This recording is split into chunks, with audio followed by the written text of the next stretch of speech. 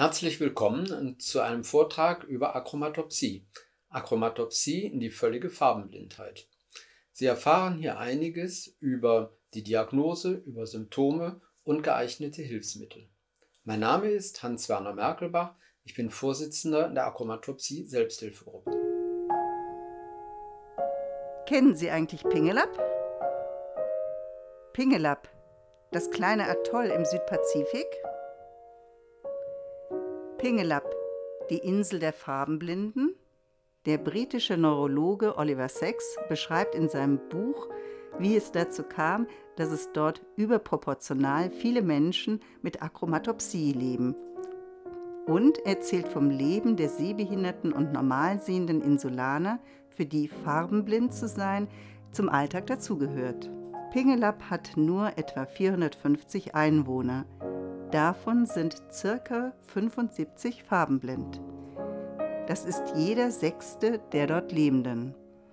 In Deutschland gilt Achromatopsie als eine sehr seltene Augenerkrankung. Hier leben nur ca. 2700 Achromatinnen und Achromaten. Es ist also nur jede bzw. jeder 30.000ste in Deutschland davon betroffen. Ich bin mit dieser seltenen Sehstörung Achromatopsie geboren. Meine Eltern ähm, waren beide Träger des für Achromatopsie verantwortlichen Gens. Sie wussten aber nichts davon, bei ihnen und in der Verwandtschaft war davon auch nichts bekannt. Die Form der Vererbung, die die Achromatopsie auslöst, bezeichnet man als autosomal rezessiv. Nur in dem sehr unwahrscheinlichen Fall, dass beide Elternteile Träger desselben Achromatopsie-Gendefektes sind und dass beide diesen defekten Teil des Erbgutes an ihr Kind weitergeben, wird das Kind mit Achromatopsie geboren. Die Begriffe farbenblind oder kolorblind werden sehr häufig auch für andere Farbsinnschwächen oder Farbfehlsichtigkeiten verwendet. So wird fälschlicherweise die Rot-Grün-Schwäche auch Farbenblindheit genannt. Dabei betrifft sie jedoch nur die Differenzierung der Farben Rot und Grün. Andere Symptome der Achromatopsie wie Lichtempfindlichkeit oder Sehschwäche sind damit nicht verbunden. Mit der Achromatopsie sind noch mehrere Symptome verbunden, nicht nur die Farbenblindheit.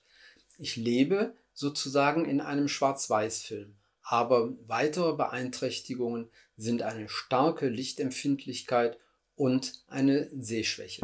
Das Sehen mit Achromatopsie ist nur sehr schwer zu beschreiben und fototechnisch nur ansatzweise darstellbar. Trotzdem soll mit den nachfolgenden Bildern versucht werden, einen Eindruck zu verschaffen. Sie sehen einen bunten Marktstand. Jetzt sehen Sie den Marktstand in Schwarz-Weiß also nur in Grautönen. Sie kennen solche Bilder aus alten Film- oder Schwarz-Weiß-Postkarten. Achromaten sind extrem licht- bzw. blendungsempfindlich. Das kann durch die Überbelichtung des Fotos nur annähernd gezeigt werden. Die Sehfähigkeit beträgt nur ca. 10% eines Normalsehenden. Dieses unscharfe Foto soll das symbolisieren. Es muss aber ausdrücklich gesagt werden, dass Akromaten die Welt nicht verschwommen wahrnehmen. Sie können die Dinge aus der Entfernung nur nicht erkennen. Normalsehende können ein Ortseingangsschild mindestens aus 100 Metern Entfernung erkennen. Ich kann dann nur sehen, dass da ein Schild steht und nichts darauf lesen. Ich muss auf 10 Meter ran, um möglichst die Großbuchstaben erkennen zu können. Zitterbewegungen der Augäpfel nennt man Nystagmus. Dies fällt bei Kindern oft als ein erstes Symptom auf. Doch Akromaten selbst bemerken diese Augenbewegungen nicht. Hier noch einmal zusammengefasst die Symptome der Achromatopsie. Farbenblindheit, Blendungsempfindlichkeit, Sehschwäche, Nystagmus. Somit ist die Achromatopsie eine hochgradige Sehschwäche. Das Problem, Achromatopsie zu diagnostizieren, liegt oft schon daran, dass es bei Kinderärzten oder bei Augenärzten kaum bekannt ist. In Deutschland werden im Jahr vielleicht 15 bis 20 Kinder mit Achromatopsie geboren, aber es gibt 15.000 Kinderärzte. Auf der Netzhaut des menschlichen Auges gibt es zwei Arten von Sinneszellen, die das Sehen ermöglichen. Die Zapfen und die Stäbchen. Die Zapfen in der Mitte des Sehzentrums sind für das Farbensehen verantwortlich. Die außen angeordneten Stäbchenrezeptoren erkennen nur hell und dunkel. Sie sind also eigentlich nur für das Dämmerungs- und Nachtsehen besonders geeignet. Außerdem produzieren die Zapfen ein fein differenziertes, scharfes Bild am Tage. Die Bildauflösung der Stäbchen ist jedoch zehnmal gröber. Im Sehzentrum von Achromatinnen und Achromaten werden nur die von den Stäbchen erfassten Hell-Dunkelwerte verarbeitet und die nur in einer deutlich schlechteren Bildauflösung. Schwierig ist die Diagnosestellung zunächst, weil die Netzhaut bei der Augenuntersuchung mit der Spaltlampe völlig gesund erscheint. Darum ist man für die erste Diagnose fast nur auf die mit dieser Sehstörung verbundenen Symptome angewiesen. Leider gibt es keine differentialdiagnostische Leitlinie für diese Erkrankung und letztlich gibt eine Genuntersuchung erst endgültige Gewissheit über die Diagnose Achromatopsie. Bei Kleinkindern oder gar Säuglingen ist es nur schwer möglich, Achromatopsie zu diagnostizieren. Das erste, was auffällt, ist der Nystagmus, das Augenzittern und die Lichtempfindlichkeit. Sie sehen hier zwei Bilder von mir als kleinen Jungen. Als Säugling fiel es ganz besonders auf, wenn man mich nach draußen ins schöne Wetter, in die Sonne fuhr mit dem Kinderwagen und ich habe dann die Fäustchen vor die Augen gehalten oder sogar geweint. Mein Kindername war nicht Hans Werner, sondern Hans Weiner. Wenn ein Kind positiv auf bestimmte Lichtschutzbrillen, also Kantenfilterbrillen reagiert und dann die Augen, die es sonst geschlossen hält, bei Sonnenlicht öffnet, dann ist das schon ein erstes Zeichen vielleicht für die Diagnose Achromatopsie. Die Sehschwäche und die Farbenblindheit kann man bei einem Säugling oder auch bei einem Kleinkind nur schwer diagnostizieren, weil diese Eigenschaften noch gar nicht ausgeprägt sind. An einigen Beispielen möchte ich Ihnen erklären, welche Behinderung mit Achromatopsie im Alltag verbunden ist. Zum Beispiel ist es für uns oft schwer, Menschen, selbst die, die wir gut kennen, wiederzuerkennen. Hier in diesem Beispiel hatte ich mich mit meiner Frau verabredet, aber sie musste sich in dem Café bemerkbar machen, damit ich sie aus der Menge der Menschen erkennen konnte. Der Einkauf bzw. die Auswahl von Lebensmitteln sind oft schwierig. Die Bananen sind nur grau. Welche sind noch unreif und welche schon lecker süß? Farbensehende Menschen erkennen es an den Farben grün und gelb. Buffets sind für Achromatinnen und Achromaten eine echte Herausforderung. Wegen der fehlenden Farben ist das reichhaltige Angebot kaum differenzierbar und eigentlich nur verwirrend. Kleine Hinweisschilder helfen dann auch nicht, weil die Schrift zu klein ist. Hier noch einige Beispiele. Die Auswahl von Kleidung, Freizeit, Pflanzen bzw. Blumen. Probleme haben die Betroffenen auch, bei der Orientierung in fremder Umgebung, bei vielen Anforderungen in Schule, Studium und Beruf. Wegen dieser Behinderungen brauchen die Betroffenen oft mehr Zeit, mehr Energie und besondere Hilfsmittel. Negativ bei der Achromatopsie ist, dass sie nicht heilbar ist, jedenfalls noch nicht. Negativ ist auch, dass es keine Medizin, Therapie oder ein Training gibt, das die Achromatopsie lindern könnte. Und es gibt auch keine Wunderbrille, durch die ein Farbenblinder Farben sehen würde. Positiv ist, dass die Achromatopsie keine fortschreitende Sehstörung oder Erkrankung ist. Positiv ist auch, dass es einige Hilfsmittel gibt, die den Alltag erleichtern. Es gibt Nachteilsausgleiche in Schule, Beruf und Studium. Positiv ist auch, dass es inzwischen Forschung zur Gentherapie gibt. Am Departement für Augenheilkunde am Uniklinikum in Tübingen werden klinische Studien zur Gentherapie bei Achromatopsie durchgeführt. Nachdem in einer ersten Phase die Sicherheit und Wirksamkeit nachgewiesen wurden, werden jetzt erstmals auch Kinder in die Studie einbezogen. Erste Erfolge zeigen, dass bei einigen erwachsenen Patienten die Blendungsempfindlichkeit gemildert und das Sehvermögen geringfügig verbessert werden konnte. Wegen der höheren Plastizität junger Gehirne rechnet man bei Kindern mit weit besseren Ergebnissen. Hier nun einige Beispiele für geeignete Hilfsmittel. Kantenfilterbrillen oder Kantenfilter-Kontaktlinsen schützen das Auge vor den kurzen Wellen des Lichtspektrums. So werden die violetten und blauen Anteile des Lichtes, die als sehr hell empfunden werden, geblockt. Kantenfilter erhöhen den Kontrast und vermitteln einen schärferen Seeeindruck. Bei gleißendem Sonnenlicht kann ich keine Ampelanlagen erkennen. Wenn ich eine konventionelle Sonnenbrille aufziehe, ist das schon eine Hilfe, aber die reduziert das Licht nur linear.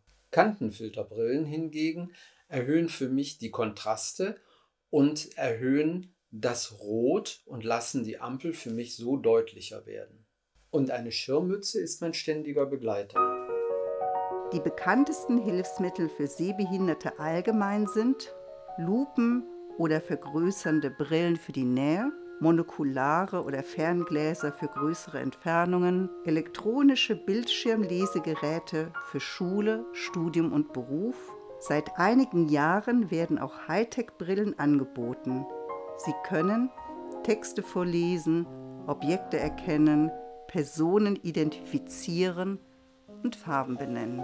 Nur wenige Akromatinnen oder Akromaten nutzen den weißen Langstock zur eigenen Sicherheit im Straßenverkehr. Speziell für Farbenblinde gibt es Farberkennungsgeräte, die Farben benennen können. Diese Funktion haben auch einige Smartphone-Apps. PCs bieten Bildschirmlupen, Textansage, invertierte Anzeige und weitere Funktionen für Sehbehinderte und Farbenblinde. Smartphones und Tablets sind für Akromaten und allgemein für Sehbehinderte eine unschätzbare Hilfe. Die Kamera dient als Lupe und Fernglas zugleich.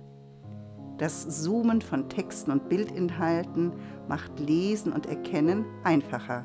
Diktier- und Vorlesefunktion erleichtern die Arbeit bei schlechten Lichtverhältnissen oder zu kleiner Schrift.